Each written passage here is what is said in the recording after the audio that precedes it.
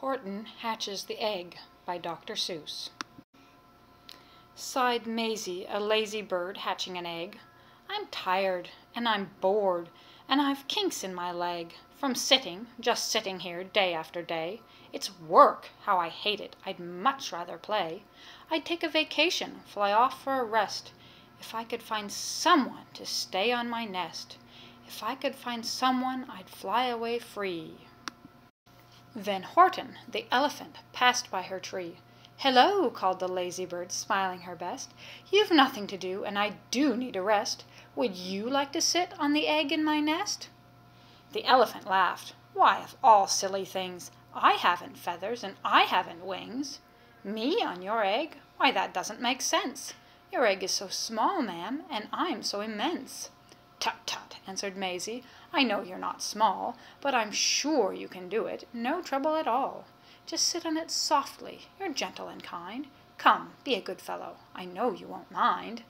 I can't, said the elephant. Please, begged the bird. I won't be gone long, sir, I give you my word. I'll hurry right back, why I'll never be missed. Very well, said the elephant, since you insist. You want a vacation, go fly off and take it. I'll sit on your egg and I'll try not to break it. I'll stay and be faithful. I mean what I say. Toodaloo, sang out Mayzie, and fluttered away. Hmm, the first thing to do, murmured Horton. Let's see. The first thing to do is to prop up this tree and make it much stronger. That has to be done. Before I get on it, I must weigh a ton. Then carefully, tenderly, gently he crept up the trunk to the nest where the little egg slept. Then Horton the elephant smiled. Now that's that. And he sat, and he sat, and he sat, and he sat. And he sat all that day, and he kept the egg warm, and he sat all that night through a terrible storm. It poured and it lightened, it thundered, it rumbled, this isn't much fun, the poor elephant grumbled. I wish she'd come back, 'cause I'm cold and I'm wet. I hope that Mayzie bird doesn't forget. But Mayzie by this time was far beyond reach, enjoying the sunshine way off in Palm Beach, and having such fun, such a wonderful rest, decided she'd never go back to her nest.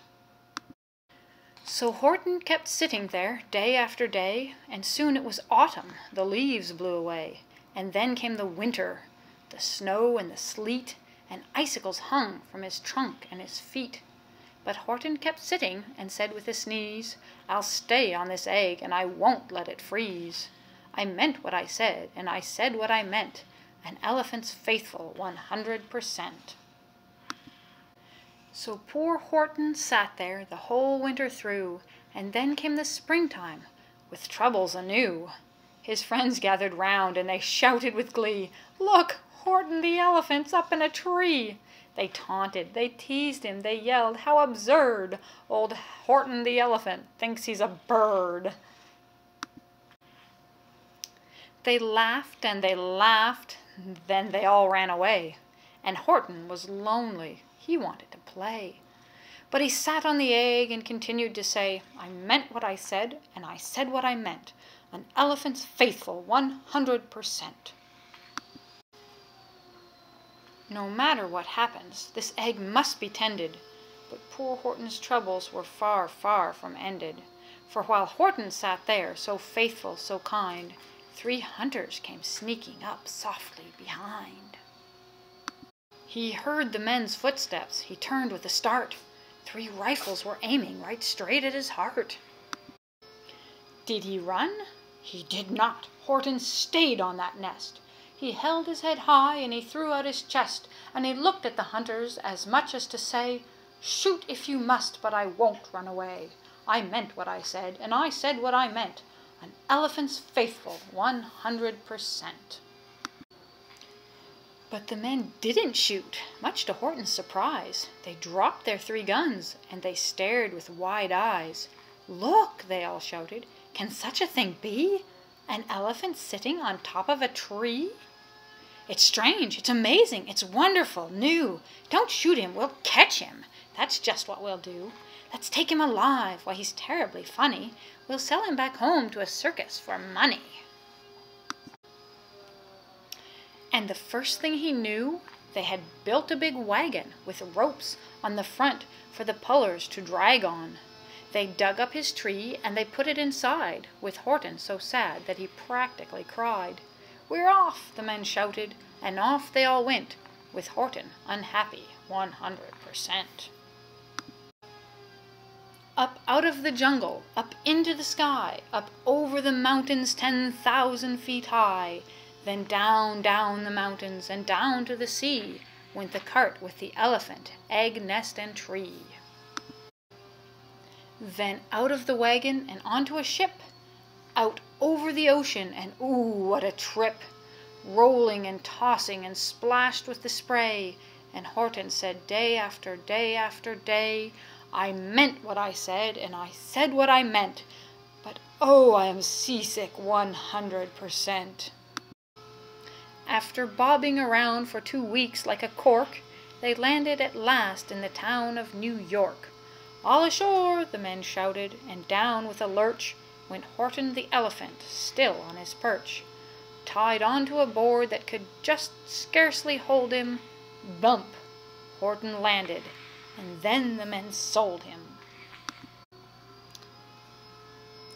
Sold to a circus, then week after week they showed him to people at ten cents a peek. They took him to Boston, to Kalamazoo, Chicago, Weehawken, and Washington, too. To Dayton, Ohio, St. Paul, Minnesota, to Wichita, Kansas, to Drake, North Dakota. And everywhere thousands of folk flocked to see and laugh at the elephant up in a tree. Poor Horton grew sadder the farther he went, but he said as he sat in the hot, noisy tent, I meant what I said, and I said what I meant. An elephant's faithful, 100%. Then one day, the circus show happened to reach a town way down south, not so far from Palm Beach. And dawdling a long way up high in the sky, who, of all people, should chance to fly by?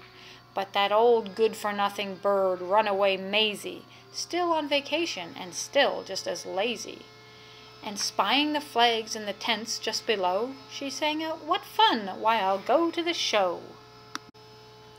And she swooped from the clouds through an open tent door. Good gracious, gasped Mayzie, I've seen you before. Poor Horton looked up with his face white as chalk. He started to speak, but before he could talk, there rang out the noisiest ear splitting squeaks from the egg that he'd sat on for fifty one weeks. A thumping, a bumping, a wild alive scratching. My egg, shouted Horton. My egg! Why, it's hatching! But it's mine, screamed the bird when he, she heard the egg crack. The work was all done. Now she wanted it back. It's my egg, she spluttered. You stole it from me. Get off of my nest and get out of my tree. Poor Horton backed down with a sad, heavy heart. But at that very instant the egg burst apart, and out of the pieces of red and white shell, from the egg that he'd sat on so long and so well, Horton the elephant saw something whiz.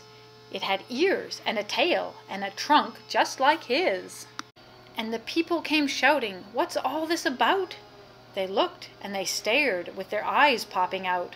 Then they cheered and they cheered and they cheered more and more. They'd never seen anything like it before. My goodness, my gracious, they shouted, my word! It's something brand new. It's an elephant bird! And it should be, it should be, it should be like that. Because Horton was faithful. He sat and he sat. He meant what he said and he said what he meant and they sent him home happy 100%. The end.